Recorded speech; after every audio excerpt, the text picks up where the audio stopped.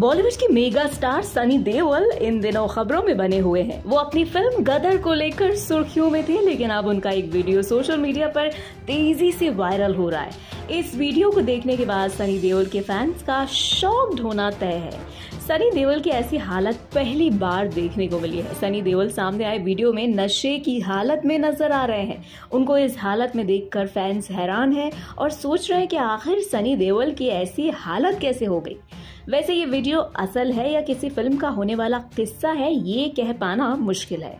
सामने आए वीडियो में सनी देवल बीच चौराहे पर नशे में घूमते दिखाई दे रहे हैं। वो एक ऑटो वाले से टकराने वाले होते हैं कि तभी ऑटो वाला उन्हें रोकता और उन्हें पहचान लेता है।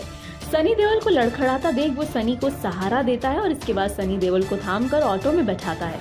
सनी देओल उससे कुछ बातें करते हैं और मुस्कुराते नज़र आते हैं। वहीं वीडियो बना रहे शख्स को ऑटो वाला हटाता है।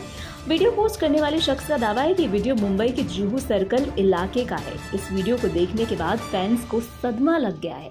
आप भी देखें ये वीडियो।